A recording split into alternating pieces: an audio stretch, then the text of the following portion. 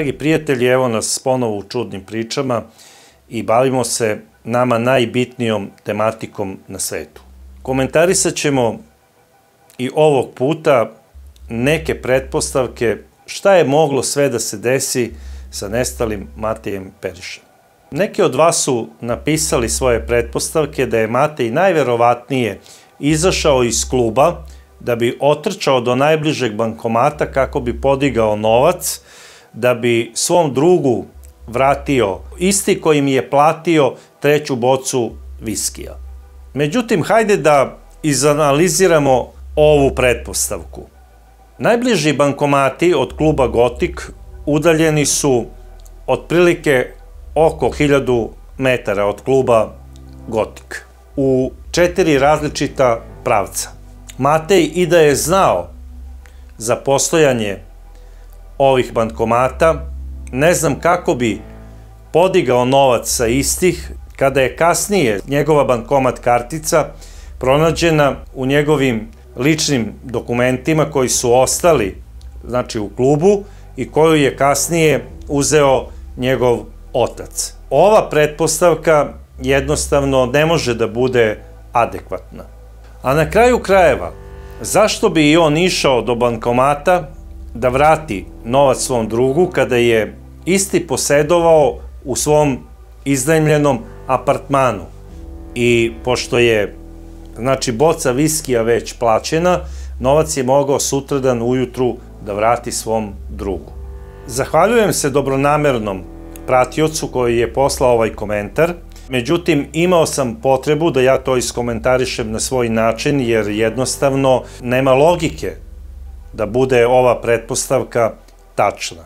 Meni je jako bitno da šaljete komentare u što većem broju da bismo došli do prave istine. A jedan od tragova koji može da nas dovede do istine je i fotografija koja se pojavila iz gotika, na kojoj se vidi, znači u zoomiranoj varijanti, jedan mladić u majici sa kratkim rukavima, crnoj majici, i do njega stoji devojka u beloj košulji.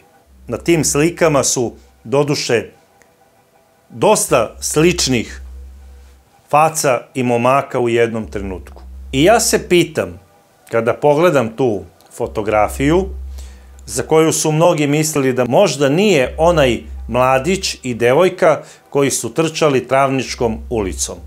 Ako je to tako i ako se radi o mladiću i curi koji su kasnije snimljeni u travničkoj ulici, u isto vreme kada i trči, onda se postavlja pitanje zbog čega su ovo dvoje mladih ljudi u isto vreme istrčali iz Gotika kad i Matej i gde su bile njihove jakne? Da li su možda ostale ne u nekom drugom klubu, nego možda baš u Gotiku? I zašto? Ja sam već u jednom mom prethodnom videu analizirao ovo dvoje mladih koji trče travničkom ulicom. Apelujem na mladića i devojku koji su to veče trčali u isto vreme da mi se jave, jer bih hteo da im postavim sledeća tri pitanja. Nažalost, još uvek mi se nisu javili, tako da ne znam o kome je reč i ne znam njihove motive trčanja. Na tim snimcima u Sava Mali, dok ovo dvoje mladih trče i dok Matej trči, pojavljuje se dosta, znači, prolaznika, da li slučajnih ili namernih, koji su mlađi ili malo stariji, koji su tu slučajno ili namerno, ja to sada ne znam. Tu se pojavljuje i jedan čuvar parkinga koji otvara neki auto, da li je to njegov auto ili ko zna čiji auto, ja to ne znam. Deluju vrlo opušteno i sada da li su oni izašli da prošetaju posle dobre pijanke ili kao da nekog oni tu čekaju, ja to stvarno ne znam. Ali, ti slučajni prolaznici deluju tako upečatljivo da se prosto pitam otkud toliko slučajnosti na jednom mestu, u sitnim satima. Da li su oni možda čekali, recimo, taksi? To samo oni znaju. A pretpostavljam da možda to isto znaju i neki drugi ljudi, ali iz određenih razloga čute. Mnogi od vas misle da ovo dvoje mladih je umešano u Matejev nestanak, čak što više, da su u samoj organizaciji njegovog nestanka. I vi to komentarišete. Ja lično mislim da to nije tako. Ja verujem da oni nikada i nisu videli Mateja. Ako uzmemo u obzir, recimo, pretpostavku da je to dvoje mladih koji su trčali, policija prepoznala i da su ih pozvali na razgovor i da su ih pitali da li vi možda imate neke veze sa Matejevim nestankom, oni su normalno rekli ne, mi i ne znamo ko je Matej. Obično kada se neko pozove na informativni razgovor i kada mu se pokaže fotografija tražene osobe, ne pokaže se jedna fotografija, nego se pokaže više njih, da biste vi u cilju prepoznavanja, ako znate nekog, rekli to je taj, to je taj. Ili jednostavno, ja ne znam ko su ovi momci. Inspektori koji vode celu priču, oni posmatraju svoje sagovornike kako će da reaguju na određena pitanja. I oni tačno znaju da li osobe lažu ili ne. Policija im pokaže Matejevu sliku ili vi znate ovog momka, ne znamo.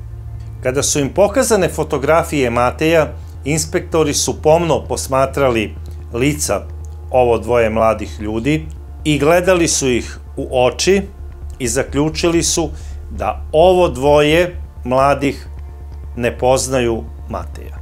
I policija je došla do zaključka da oni nemaju nikakve veze sa Matejevim nestankom. Na to su uložili najveću koncentraciju.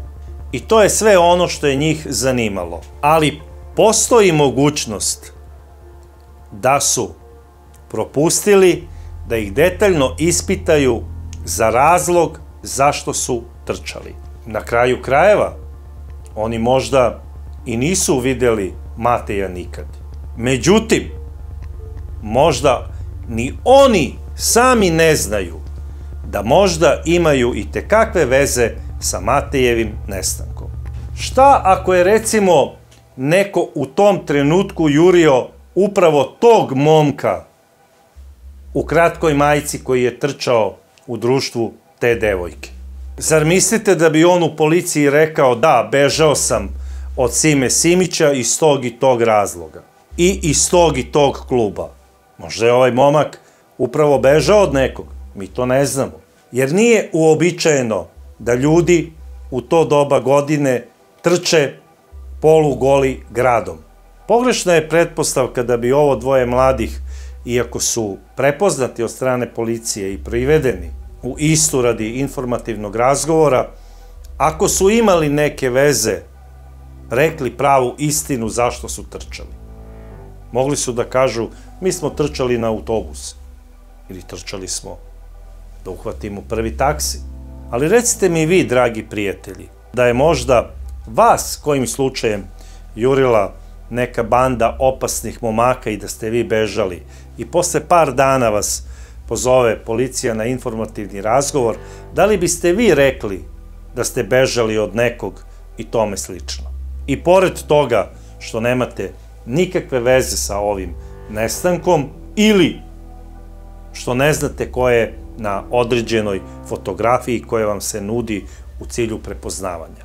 Čak što više, i da su bili u gotiku, i da su istrčali iz njega isto kao i Matej, onda su morali da se kreću trčanjem uz Savu, Kejom, ka Sava Mali, što je i logično, to je najkraći put.